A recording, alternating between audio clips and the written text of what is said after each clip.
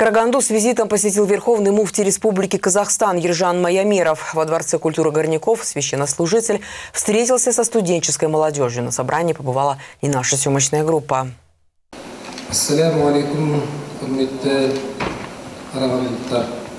Ислам – религия миролюбия. Именно так называлась тема, на которую беседовал муфти с преподавателями и студентами. В ходе встречи главный муфти объяснил основные догматы традиционного ислама и дал свои наставления молодежи. Мы сейчас э, уделяем внимание к воспитанию молодежи и наставлению, э, так как э, в стране э, в религиозной э, сфере э, не так уж стабильно, так как э, некоторые течения религиозные э, вызывает, э, так сказать, э, волнение.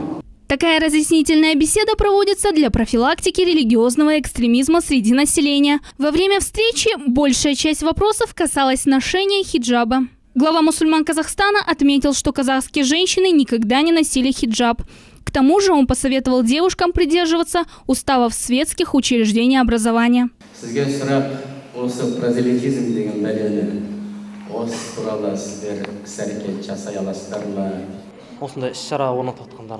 Я выражаю благодарность за сегодняшнее мероприятие. Поэтому мы сегодня тут собрались. Ведь известно, что в Карагандинской области проживает много молодых верующих людей.